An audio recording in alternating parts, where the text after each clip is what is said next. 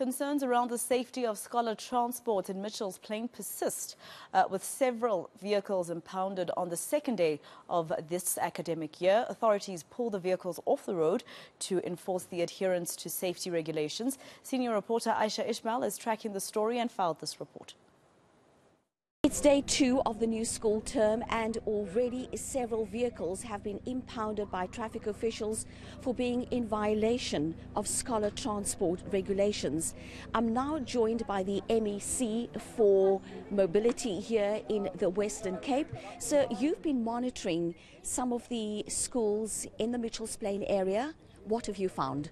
Good morning and what we found this morning is quite heartbreaking as you have said in your introduction, one of the vehicles that was impoundment this morning for violating traffic and scholar transport regulations had 60 children in the vehicle, four sitting on top of each other. It is reckless and irresponsible.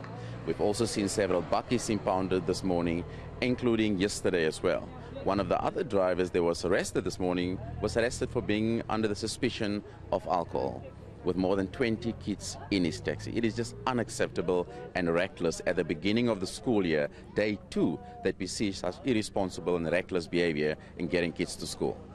But you were telling me earlier you also came across a very young driver who was clearly not in possession of a driver's license. This driver should not even be have a learner's driver's. It was completely underage and should not be operating any vehicle. Needless to say, a public transport operating, transporting school children. That is unacceptable and we are asking all our parents and owners, particularly owners of public transport vehicles to ensure that drivers are legalized and formalized and have the appropriate documentation and driving our children to school.